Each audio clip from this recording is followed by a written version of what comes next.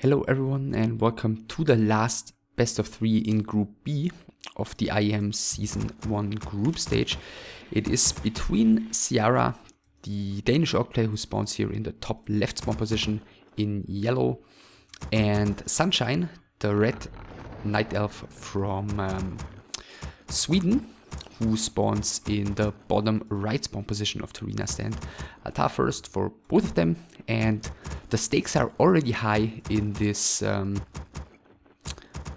on this first map of this best of three because um, just to remind you Creo is already sure going to end up on rank 1 of this group so he's going to the grand finals.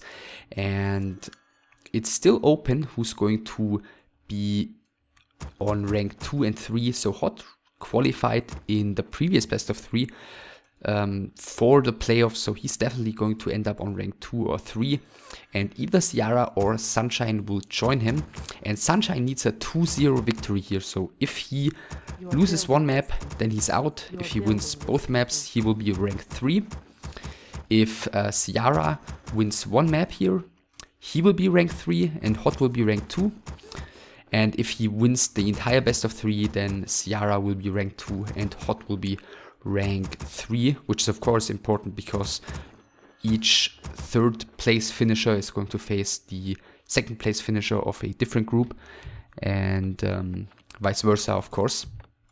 So statistically speaking, as a third ranked player, you will end up facing a stronger player than as a second ranked player. So Blademaster first and no barracks whatsoever. A super quick take apparently by Ciara, who scouts right now that the Demon Hunter, well, that a here, which is probably the Demon Hunter, is being built, and that a Hunter's build order is coming, and he's going for a burrow here inside of the base, which I believe, I'm pretty sure this base is closed, so if the Demon Hunter spawns outside, then, yeah, he spawns outside, he's got no means of dealing with this unless he cancels the Ancient of War or the Hunter's Hall.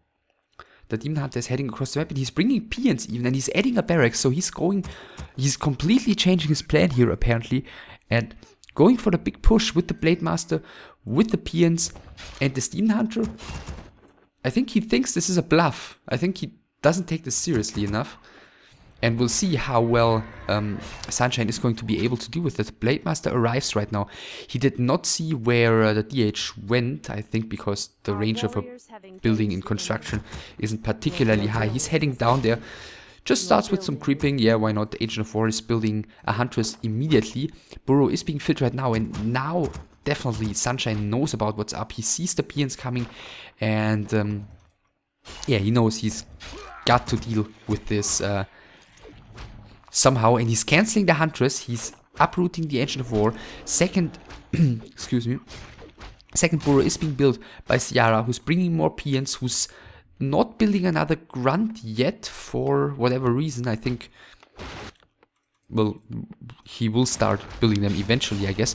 And the Demon Hunter has already taken plenty of damage. Of course, the uh, the Blade Master doesn't necessarily want to fight against both the DH and the Ancient of War here.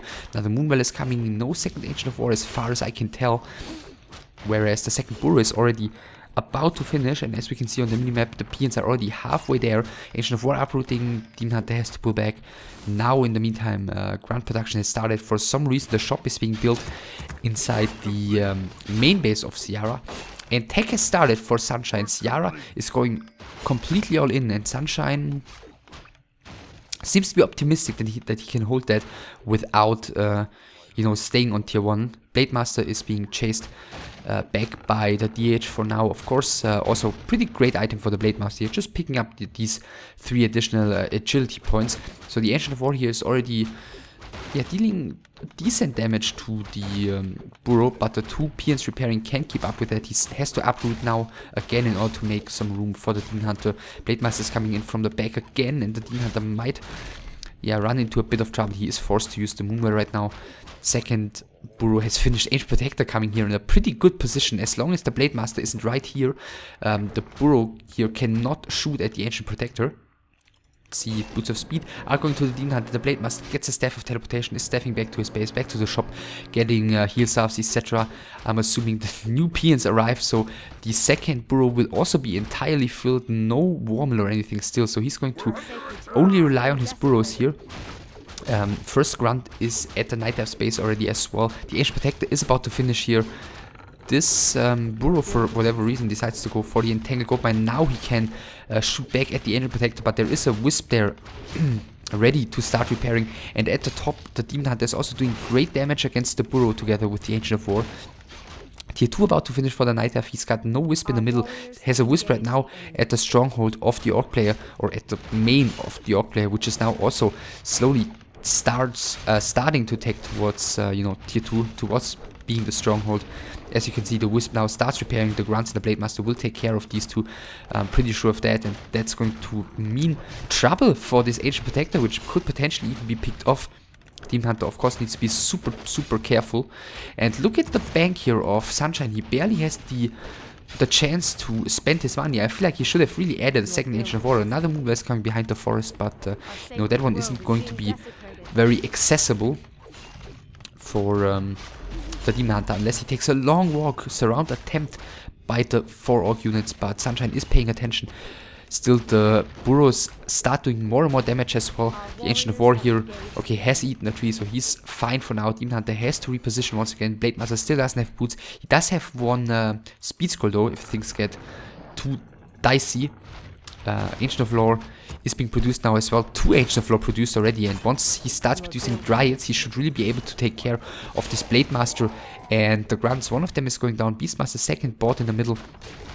One of the Wisps is being taken down by the Burrows, and now apparently he's got the time to do some damage against the Ancient Protector. And this one is super crucial. He's repositioning so the Wisps don't get access, don't get any repair surface. In the meantime, another Wisp has been taken down. Beastmaster with the first Beast is coming to the Night main base right now. Second Grunt is going down. Demon Hunter is also taking more and more damage. The movers down here are pretty much empty, and there is no shop. And nighttime is about to be over. So the moon, the moon juice, which is integral to uh, Sunshine still being alive here is going to be out in, you know, say 30 seconds to a minute maybe.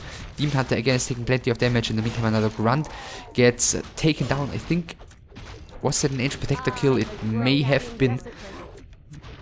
First Dryad is out right now. The Orc units have to pull back. Still, the two Burrows are alive in the back of the um, Night Elf base. Demon Hunter has barely survived here. Once again, the Blade Master has to staff.